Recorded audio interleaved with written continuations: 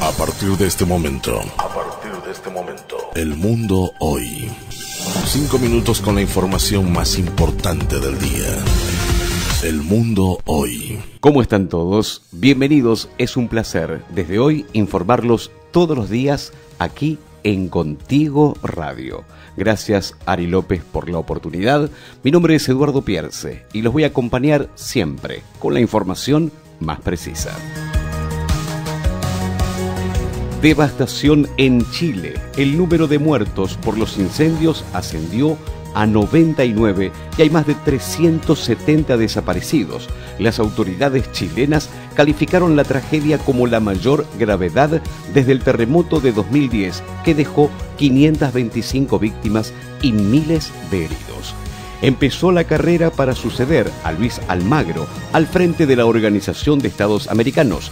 Surinam postuló a su canciller, pero habrá más candidatos detuvieron a delincuentes tras atacar un retén militar en Ecuador. Los supuestos delincuentes resultaron ser dos jóvenes sin antecedentes penales y cuyo automóvil no contaba con ningún reporte de haber sido robado. La justicia de Venezuela condenó a 25 años de prisión a los hermanos Natalia y Guillermo Améstica por el asesinato en 2015 del rapero Tirone José González, conocido como Cancerbero luego de determinar que fue sedado y asesinado a puñaladas y que no se trató de un suicidio como indicaron las investigaciones de entonces.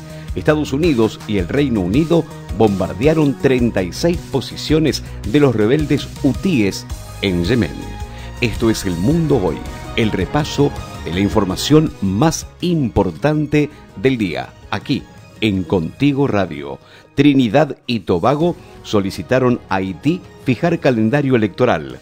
La CARICOM, que es la Comisión de América Latina y el Caribe, ha estado trabajando en una especie de mediación entre los distintos actores políticos haitianos para ayudar a la celebración de nuevas elecciones.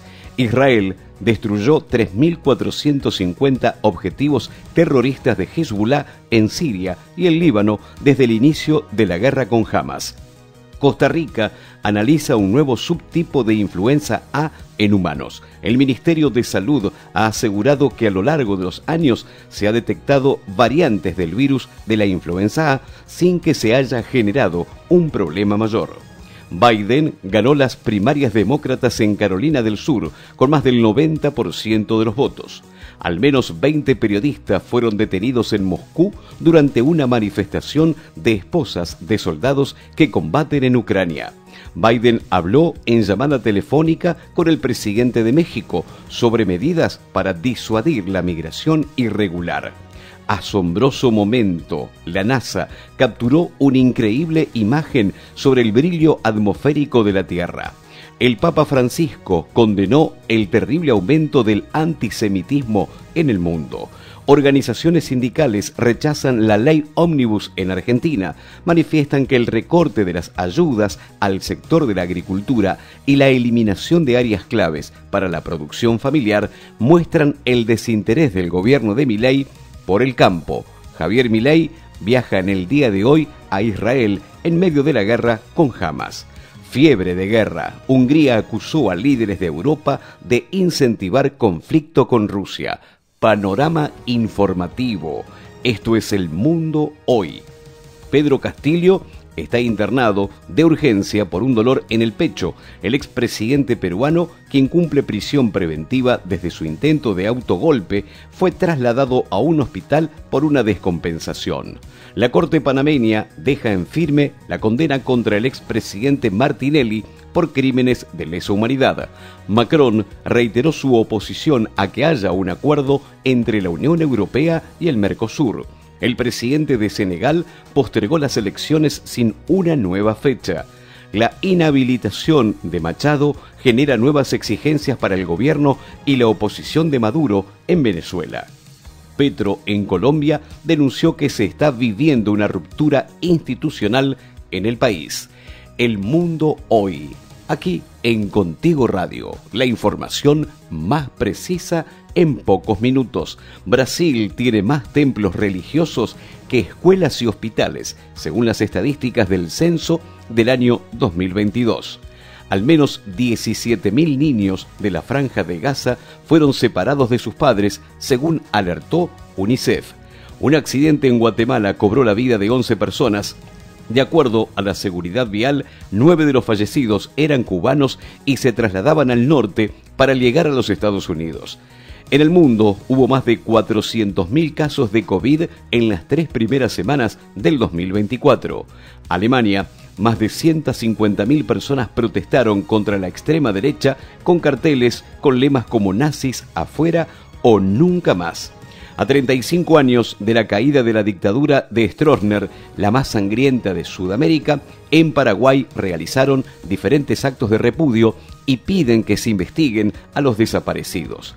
Atentaron contra aspirante alcalde en la ciudad mexicana de Iguala. Al momento del ataque, el aspirante a la alcaldía de Iguala, Eric Catalán, se resguardó en un cuartel militar.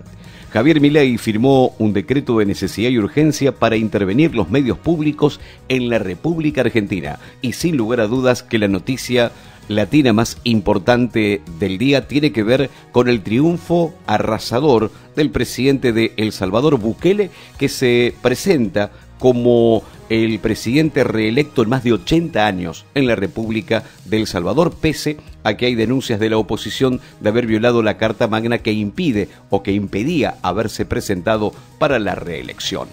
Los títulos más importantes durante todos los días aquí en la radio que eliges para disfrutar, para escuchar buena música, para informarte y entretenerte. Sin lugar a dudas, lo que trasciende lo contamos cada día. Contigo Radio. Gracias Ari López nuevamente por la oportunidad. Mi nombre es Eduardo Pierce y estaré con ustedes todos los días desde Buenos Aires con la información más trascendente lo que sucede en América Latina, lo que sucede en Europa, lo que pasa en todos los continentes, lo contaremos aquí en varias oportunidades durante el día.